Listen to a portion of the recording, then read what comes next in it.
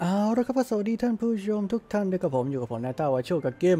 c h e m d i n g Impact แล้วนะครับผมซึ่งวันนี้เราจะมาพูดเกี่ยวกับบทแห่งซิมโฟนีนั่นคือกิจกรรมใหม่นั่นเองนะครับผม ก็อันนี้คือง่ายๆนะ เดี๋ยวผมไม่ต้องอ่านนี้หรอก เราก็ดูจากง่ายๆ แล้วก็จะมีเห็นไหมท้าทายมีทั้งหมดเจ็ดขั้นนะครับผมขั้นหนึ่งจะได้ 60 ไปมอนเจมเท่ากับว่าเราเล่นอาครบ 7 เท่าได้ประมาณ 6 7 ก็ประมาณ 420 เจมนั่นเองนะครับผมแล้วก็ จะมีการเก็บแต้มนั่นเองนะครับผม แต้มสูงสุดที่ต้องการคือ 20,000นะครับผมเพื่อจะได้ของทั้งหมด แต่ก็ของก็จริง ๆ ก็ไม่ได้มีอะไรพิเศษเท่าไหร่นะ มีตัวอัพเลเวลมีหนังสือ ซึ่งเหมือนเป็น quest ผ่านทางมากกว่านั่นเองนะครับผม แล้วเราสามารถกดไปที่ตำแหน่งท้าทายเพื่อมาได้นะ แต่ผมอยู่ใกล้แล้วอะกดให้ดูก็ได้ เห็นไหมผมอยู่ตรงนี้แล้ว เราสามารถกด teleport ได้ด้วยนะ คราวนี้เราก็จะเข้ามาดูในด่านนะครับผม เห็นไหมครับ ที่พูดมาเมื่อกี้ที่ว่าเก็บแต้มสะสมนั่นก็คือสะสมทุกด่านนะครับผม เห็นไหมผมจะมี 4,000 3,000 4ก็เลยรวมไป 7,000 กว่าเมื่อกี้นะครับผม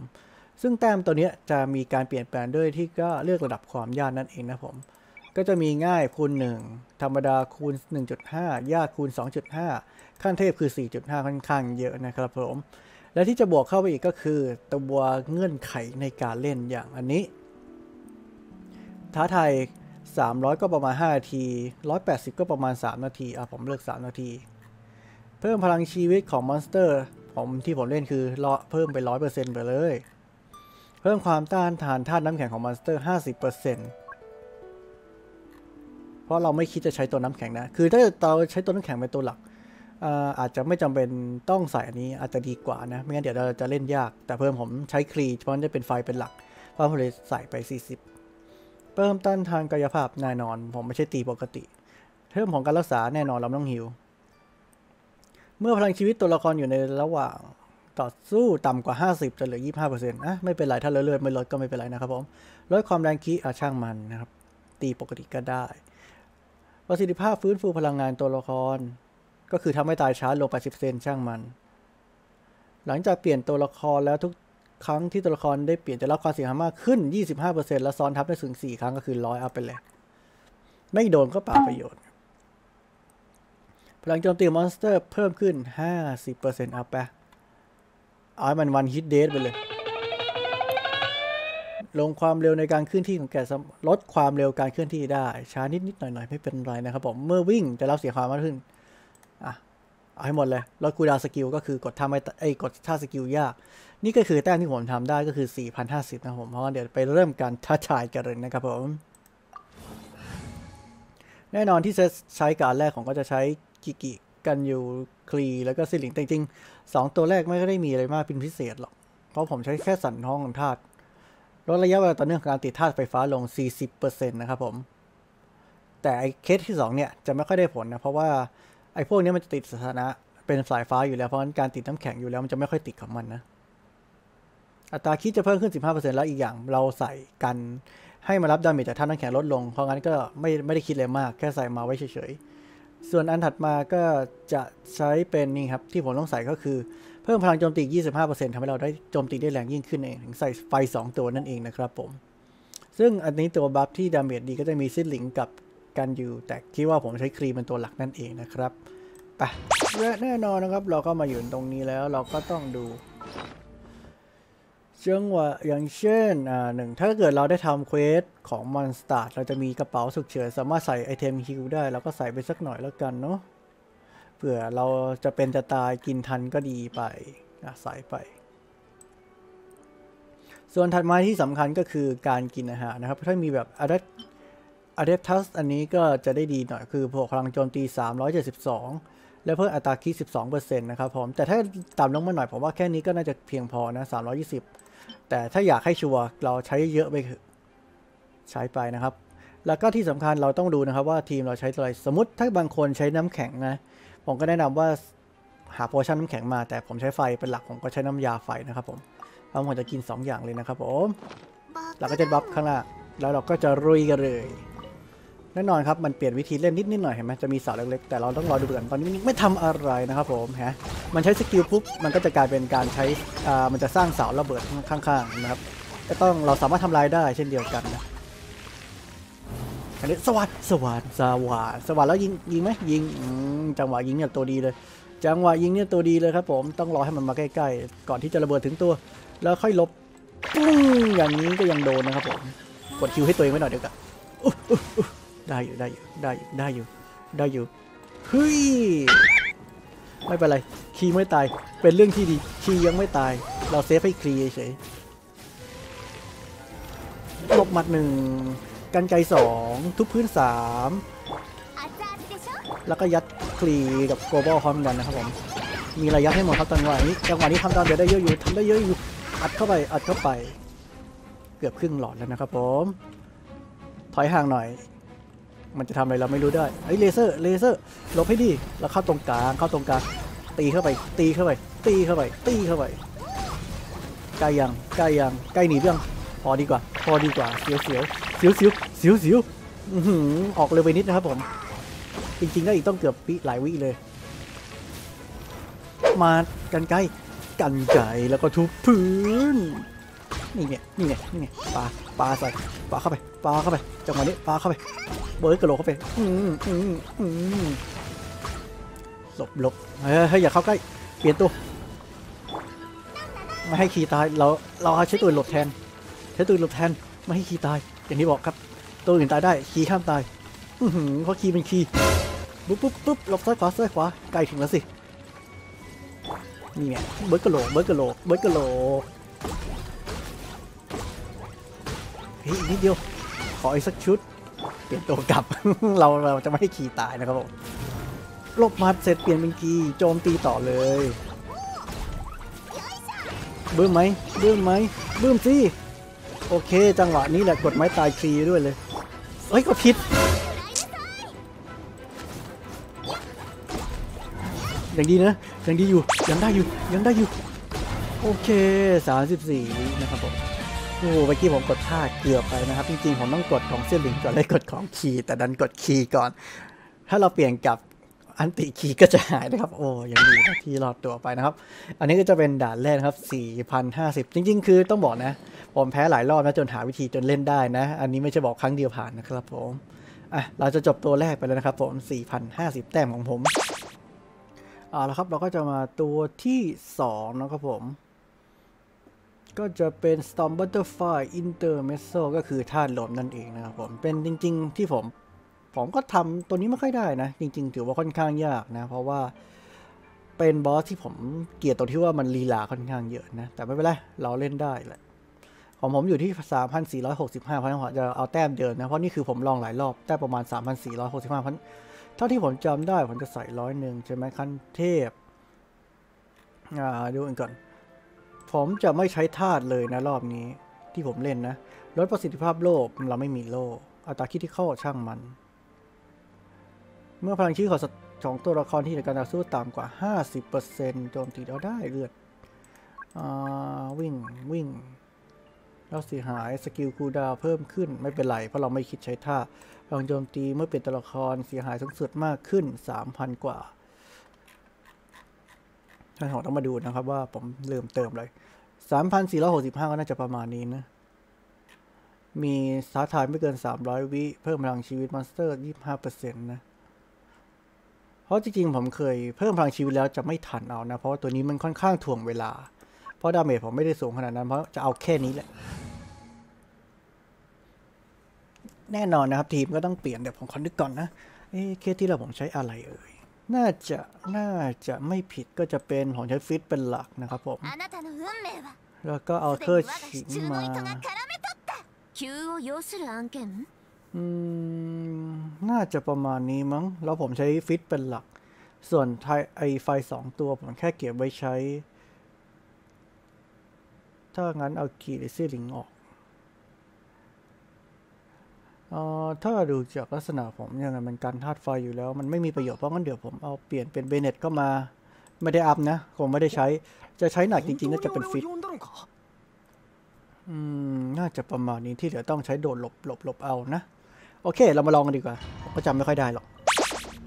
นะครับเรามาดูนะครับบอสลมตอนแรกไม่ทำอะไรมากครับ เราอยู่ใกล้ๆก็ได้เฮ้ยเราดิโยนของมาเฮ้ยเสียเวลาหลายวีแล้วเนี่ย เฮ้ย โอ้โห เสียเวลากี่วีครับ ผมถามจริงครับ คุณให้ผมเสียกี่วีแล้วครับเนี่ยฮะ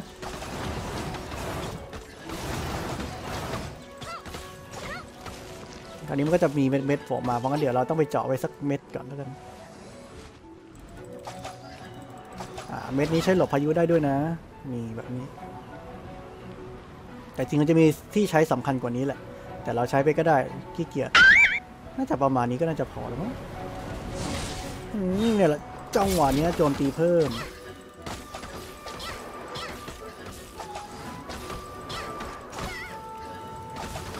ทุกครั้งเวลาก่อนที่จะบอบอสจะลุยเราก็เก็บไว้สักอันทำอะไรทุบพื้นแน่นอนตบตบหลบออกข้างนะครับเพราะมันจะมีคลื่นออกข้างๆ ข้างหน้าเพราะงั้นเราต้องออกข้างเท่านั้นนะครับผมสำหรับท่าตกจ่อยอันนึงจ่อยอันนึงทำไรบินก่อน จังหวะนี้แหละครับที่มันจะใช้เห็นไหมอันนี้ต้องกระทืบแล้วก็อันติเปลี่ยนกลับมายิง เพิ่มดาเมจให้มากที่สุดที่ทำได้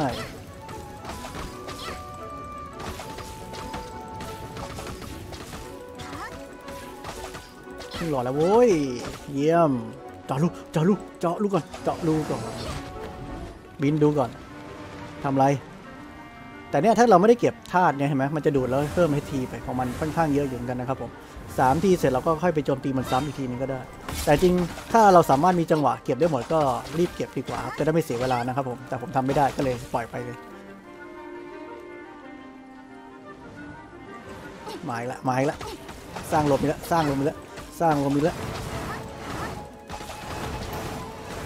อะไรเจาะบินก่อนเลยเฮ้ยบินไม่ได้บินไม่ได้ตบดีนะบินไม่ได้จริงพอดี ยันนี่ปกติก่อนเก็บเกียร์สเตมิน่าก่อนครับจอกจอกทำไร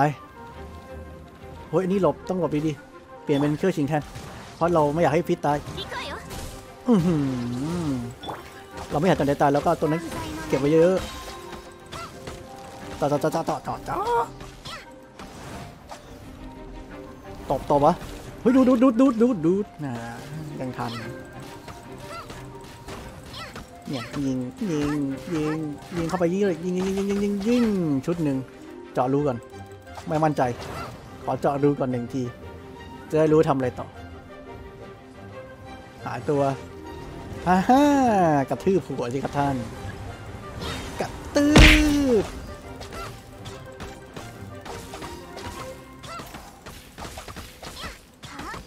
ช้กระโดดแทนดีกว่านะ ถ้าจะแคนเซิลการโจมตี มันจะดีกว่าเรากดสเปซไอ้กระโดด เอ๊ะพุ่ง เพราะมันจะเสียเกียรติเยอะ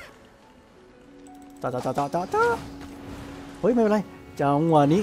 ยัดยัดยัดยัดทุกอย่างที่มียัดเร็วเร็วเร็วเร็วเร็วเร็วจะตายแล้ว มันจะตายอู้ยเสียเวลา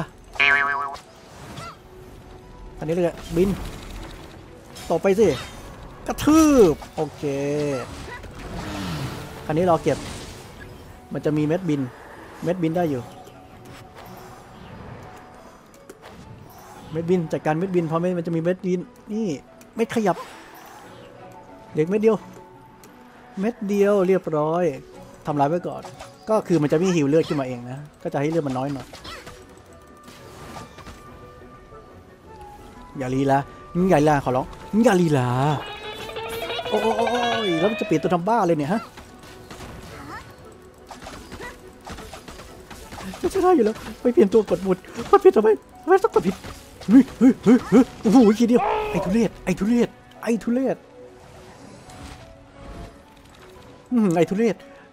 บอกเลยพูดตรงๆทุเรศมากถ้าถ้ามันส่วงเวลาค่อยๆครับผม เรียบร้อย โอ้โหเกือบไม่ทัน นะครับ ก็จะได้ประมาณนี้นะ นี่ก็เสียวไส้เต็มทนละอ๋อครับตัวที่สามเดี๋ยว อันนี้คือจากตอนแรกที่ไม่มีแต้มนะ แต่แต้มผมเพิ่มเพราะผมไปลองเทสมาหมดแล้ว เพราะงั้นเดี๋ยวมาลองกันเลยแล้วกันนะครับผมผมน่าจะปรับที่เพิ่ม 25 180 วินาทีธาตุไฟฟ้าเอาติ๊กไว้ผมเน้นครีผมว่าจะเป็นธาตุไฟไว้เป็นหลักนะครับผมผลการรักษาลดลงได้ใส่ใส่เข้าไปนะครับที่เหลือ ไม่มีโล่ป้องกันที่ผมจะออกนะ เพราะผมไม่ชัวร์ว่าจะมีโล่ตลอดเวลาหรือเปล่านะ ก็จะได้อยู่ 3,465 ซึ่งจริงๆ ถ้าเกิดผมใส่โล่ได้จะดีมากเลยนะได้ 3,700แต่ช่างมันนะ เราไม่ไหวก็คือไม่ไหวนั่นเองนะหรือจะเพิ่มอีก 50%เพิ่มอีก 25%เราก็จะได้เป็น 3,690 นะครับผม แต่เราไม่ sure นะครับ เอาแค่ 25%ไปก่อนแล้วกันนะครับผม ก็ทีมก็เป็นโนเอลฟิชเบนเนตคลีเพราะผมจะคลีเป็นหลักนะครับผม และแน่นอนนะ ผมก็จะกินอาหาร เน้นไปทางธาตุไฟอย่างแน่นอน อันนี้เหลือน้อยเก็บไว้ดีกว่ามันใช้แค่นี้ละเจ็ดแล้วก็โพชั่นไฟแค่นี้ก็น่าจะเพียงพอแล้ว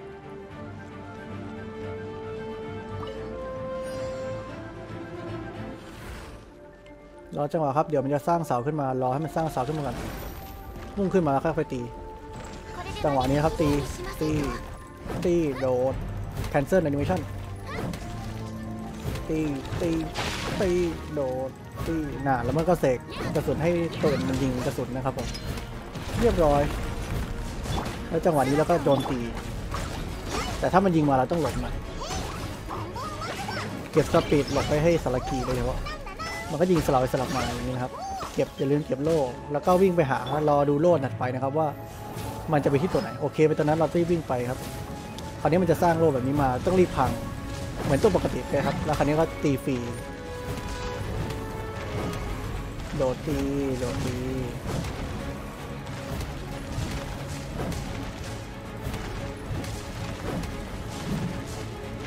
แคนเซิลเดินไปหน่อยอืมแตกพอดี มีโลกเก็บเพื่อจะได้ตีแรกได้เลย ได้ครึ่งหลอดแล้วได้ครึ่งหลอดแล้ว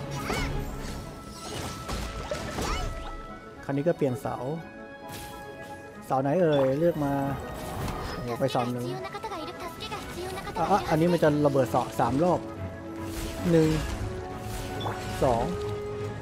สามคือเราต้องเซฟโนเอไว้อย่าให้ตายครับผมเซฟโนเอกับครีแค่นั้นเองครับตัวอื่นเอามาแลกได้ไหมแคนได้หมด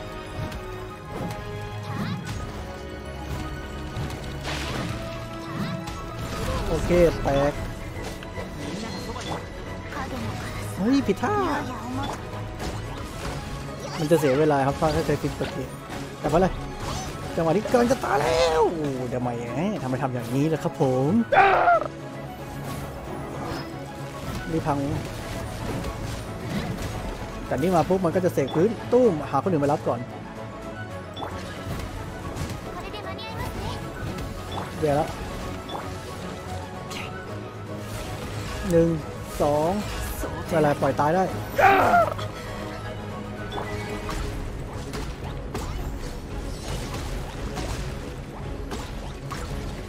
พังโอเคพังเสร็จจังหวะนี้ได้แน่นอนได้แน่นอนครับใครที่เปลี่ยนเป็นโนเอลกลับมารอจังหวะเปิดอันติหนึ่งสองสามสี่เออ สองสามสี่เรียบร้อยก็จะได้ 3,465 นะครับผม ก็จะประมาณนี้นะ คือก็คีย์สำคัญคือโนเอลอยู่แล้วสำหรับผมนะ ยังดีที่อัพไปบ้างแหละและเมื่อเราได้แต้มมาเพิ่มเห็นไหม ก็จากเมื่อกี้ตอนแรกที่ผมทำคือ 7,000นะท้าทายผ่านเราก็ได้อีก 60 เมตร ได้หมื่นหนึ่งอ่าเราเก็บได้อีกสองสามชั้นเลยนะเนี่ย ปุ๊บปุ๊บปุ๊บผมเหลือนิดหน่อยนะ เพราะจริง ๆ ถามว่า จำเป็นต้องทำสูงกว่านี้ไหมผมว่าก็ไม่จำเป็นเท่าไหร่นะ เพราะว่า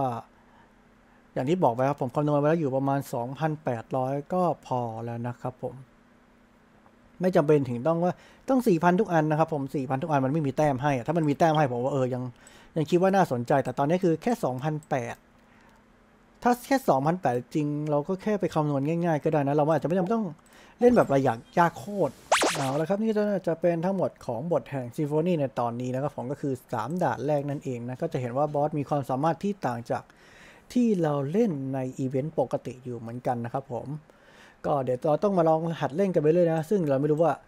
อีก 4 ด่านที่เหลือเนี่ย มันจะทำให้บอสมันน่าลำคาญกันขนาดไหนนะครับผมเดี๋ยวเราต้องมาต้องรอดูกันทีหลังนะครับผมก็สำหรับคลิปนี้ถ้ามีข้อมูลข้อใดผิดพลาดก็ต้องฝากขออภัยแล้วให้ฝากคอมเมนต์บอกไว้ด้วยครับผิดพลาดข้อไหนไปกันบ้างนะครับผม และที่สำคัญครับ ถ้าผู้ชมท่านใดถูกใจก็อย่าลืมกดไลค์ กดแชร์ และกด Subscribe และสำหรับผู้ชมทาง YouTube ส่วนทางหน้า Facebook อย่าลืมกดถูกใจเพจ และติดตามเพจไว้ด้วยนะครับผม และเดี๋ยวไว้เจอกันใหม่กันคราวหน้ากับคลิปเกมเข้มจริง Impact นะครับผมสำหรับวันนี้ สวัสดีครับ บ๊ายบาย